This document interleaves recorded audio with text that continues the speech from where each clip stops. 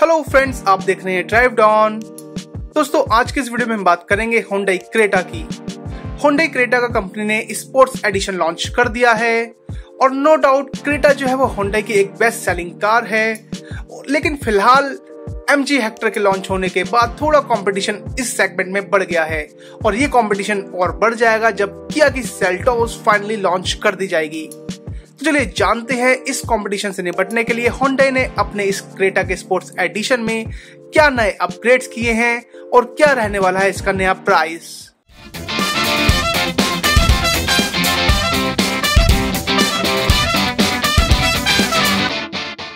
तो friends Hyundai Creta के sports edition में कंपनी ने काफ़ी सारे नए अपग्रेड्स किए हैं, चाहे वो गाड़ी के बाहर के लुक में हो या फिर अंदर कैबिन में।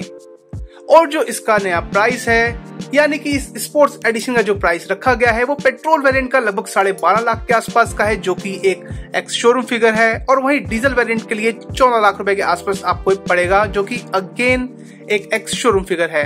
होंडाई क्रेटा स्पोर्ट्स एडिशन में जो आपको कैबिन मिलता है, वो ऑल ब्लैक फिनिश के साथ मिलता है, और इस गाड़ी के अंदर दो कलर ऑप्शंस आपको दिए गए हैं, जो कि हैं फैंटम ब्लैक और डुअल टोन पोलर व्हाइट ये दो कलर्स आपको इसमें मिलते हैं। और साथ ही, अगर आप इस गाड़ी की रूफ को ब्लैक कॉन्ट्रास्ट वाला करवाना चाहें तो उसके लिए आपको लगभग 10 से ग्यारह हज़ार रूपए एक्स्ट्रा पे करने पड़ेंगे। ये जो स्पोर्ट्स एडिशन है, ये आपको 1.6 लीटर डीजल और पेट्रोल दोनों इंजन के साथ अवेलेबल करवाया गया है। पर ये दोनों ही आपको मैनुअल वेरिएंट के साथ मिलते हैं। ऑटोमेटिक इसमें अभी अवेलेबल नहीं करवाया है। और जो इस गाड़ी के अंदर आपको नए अपग्रेड्स दिए गए हैं, उनमें smoke projector headlamps brushed silver roof rails grille के लिए dark finish faux skid plates जैसी चीज़ें इसके अंदर इंक्लूडेड हैं। साथ ही इसके ओआरवीएम्स को ब्लैक आउट कवर्स दिए गए हैं। और इसके अगर रियर की बात करें तो उसके अंदर आपको स्पॉइलर और क्रोम एग्जॉस्ट टिप लगाई गई है।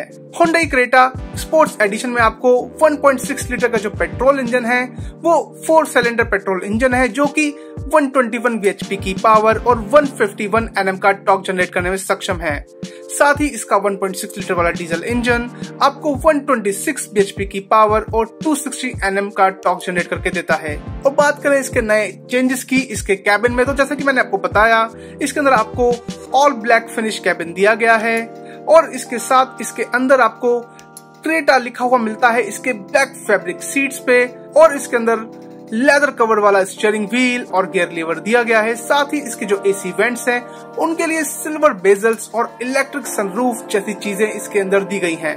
होंडा क्रेटा के बाकी फीचर्स की बात करें तो इस स्पोर्ट्स एडिशन में आपको ऑटोमेटिक क्लाइमेट कंट्रोल सात इंच का टच स्क्रीन इंफोटेनमेंट सिस्टम जो कि सपोर्ट करता है एप्पल कारप्ले और एंड्रॉइड ऑटो दोनों को ही, और cruise control wireless charging dual airbags with EBS जैसे बहुत सारे फीचर्स आपको इसमें दिए गए हैं दोस्तों ऐसी वो सारी नई चीज़ें जो कि आपको होंडा क्रेटा के स्पोर्ट्स एडिशन में दी गई हैं। और यहाँ कंपनी ने पूरी कोशिश की है कि वो जो आगे आने वाली चुनौती है नई गाड़ियों के रूप में, उनको पूरी तरह से कंपनी अच्छे से हैंडल कर पाए। दोस्तों, आपकी क्या राय है इस गाड़ी के बारे में और इस सेगमेंट के कंपटीशन के बारे में, वो हमसे कमेंट सेक्शन में ज़रूर शेयर कीजिए।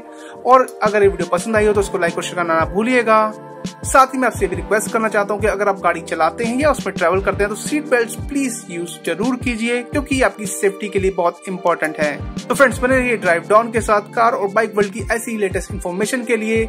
हम जल्दी आपसे फिर मिलेंगे, तब तक अपना ख्याल रखिये हैव अ गुड डे